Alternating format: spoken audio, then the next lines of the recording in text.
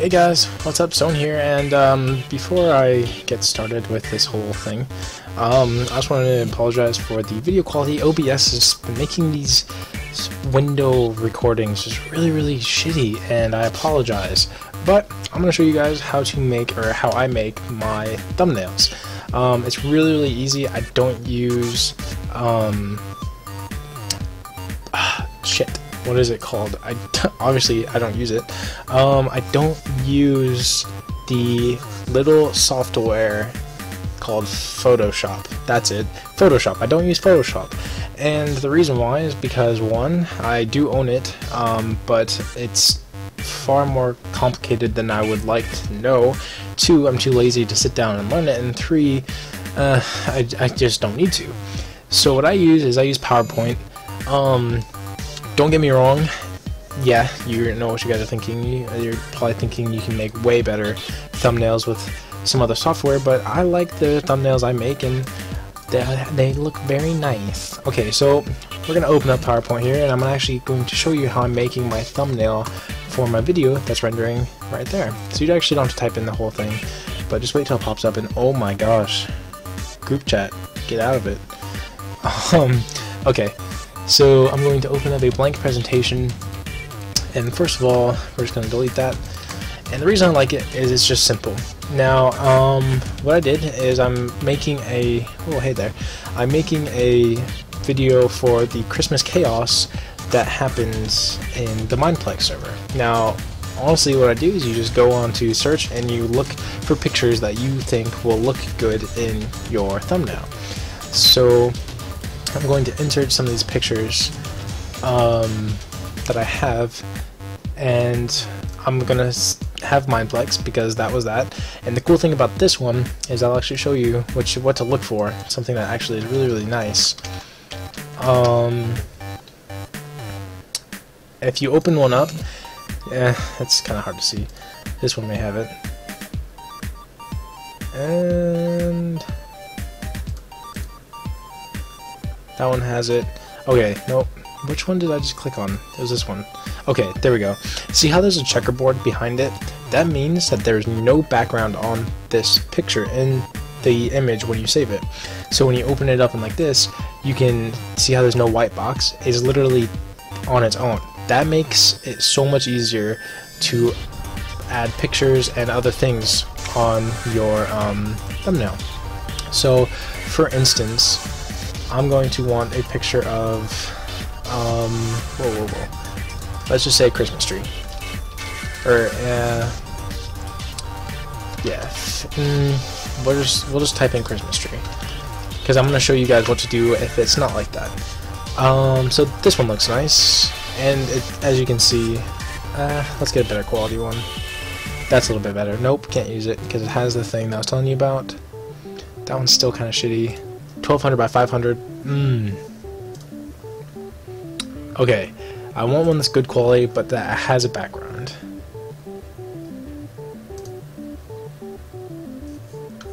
I don't know. Let's just choose the first one. There we go. That works. It's a real tree, but you know, do whatever you want to do. Alright, so we're just going to save this to your pictures, wherever you would like to save your pictures. Just make sure that you know how to get back into them. And I'm just going to go to Insert, Pictures, and let's go find that picture, and it was the Christmas tree right here. So as you can see when we add it, it has this terrible, terrible, um, let's make this full screen, has this uh, white box, and if you wanted to put that on your thumbnail, you'd have to like really, really work around it.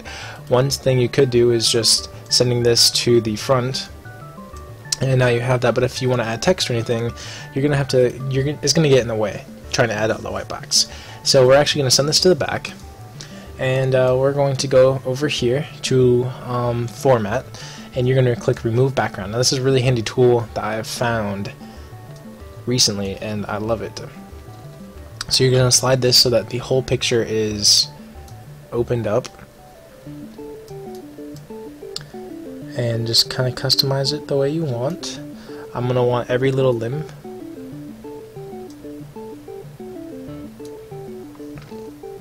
Okie dokie. Looking very nice. And you're going to keep changes. Now, as you guys can see, no stupid white background. Um, Not sure if I really need this yet, but uh, you know we can maybe throw it in there. Um, I like a very clean background. Um, as you guys can maybe see, most of my stuff is in um, most of my thumbnails.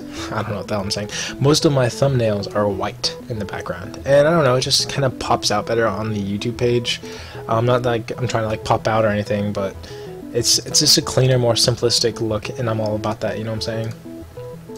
So this one's called Christmas. This was called Christmas Chaos. I know this is a really really low quality one, but when it's in a thumbnail, you really can't even tell a low quality picture. And as you guys can see, we're gonna use the um, we move background again. Okay, this is perfect. This is exactly what I wanted to happen. Alright, so as you guys can see, maybe just by testing it, it'll fix it, but no, obviously not. So what you're going to do is you're going to click Mark Areas to Keep. Now you can just go ahead and click... Oh, that's going to... What you doing? Um, you can drag, and that seems to help a little bit better. It's time... Uh... Nope. Undo. Um... I can't see. Let's zoom in a little bit on that. Eh, that's alright. We're gonna... Actually, if you click the white, that work? Nope. So it's kind of a way to go through the um, thing. It's it's tedious.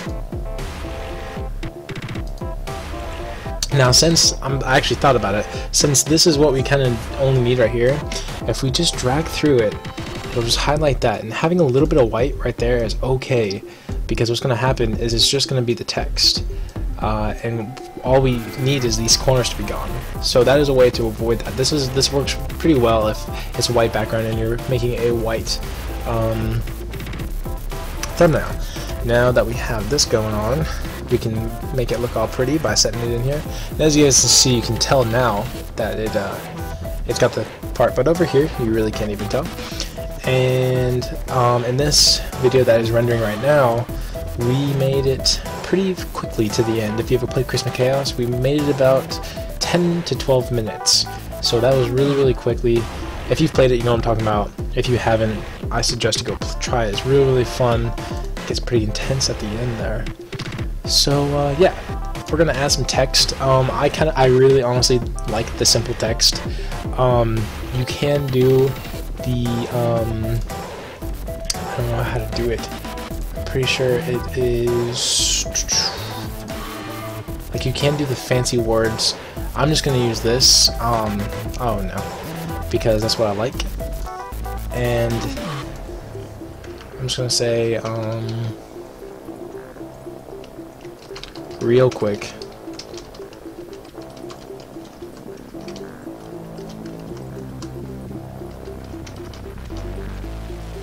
Uh, yeah, I guess that'll be all. And the cool thing about this is you can always go back and change the color uh, just by clicking and highlighting. Oh, keep sure thing is on it. Okay, so you can go back and you can change the theme. I'm gonna make it a green because that was what it was kind of like. And right here, the max is only 96, but secret secrets. You can change this to whatever size you want. So if I want 113, it's a pretty good size. We can keep it like that. And I don't know, this is kind of going to be my thumbnail style. Um, make it yours too. If, if anything, you can always change the color of the background and whatnot. But keep in mind that in this corner over here is where the, um, if like you guys know when you're scrolling through your YouTube videos, there's the time right through here. So I've put like part one in the corner and then it's just completely covered up by the time. So keep things in the middle or the left. Um, if you've already watched it, the watched will be kind of in this area. So I don't know, keep it, uh, keep it in the center preferably so that all of your hard work is, is seen. And uh, last but not least, we're just gonna go for the save. Um, this looks pretty good. I'm actually gonna put a part one here because this will not be the first time I'm to do one like that. Dang it. Alright, so we're just to say Pete 1. Oops, that's exclamation point. Alright.